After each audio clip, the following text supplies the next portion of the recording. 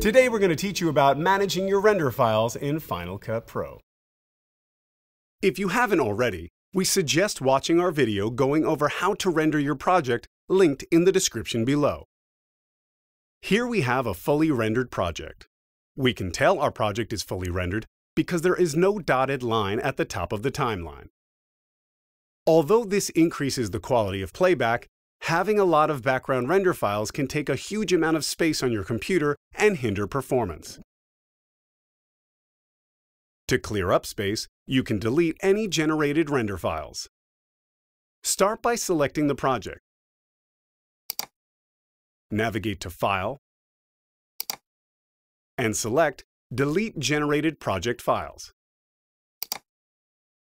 This will open a window at the center of your screen. Check Delete Rendered Files and press OK to confirm. Notice that the dotted line now appears at the top of our timeline, indicating our project has not been rendered.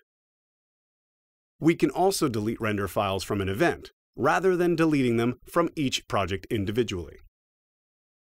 Select an event and select Delete Generated Files from the File menu. In this case, we can specify if we want to delete all rendered files or just the ones that are not being used. We can also go one level higher and clear all rendered files from an entire library. Again, navigate to File and select Delete Generated Files you will get the same options as before. So in conclusion, file management is no longer a problem, it's easy to do, and now you got everything you need to rock and roll.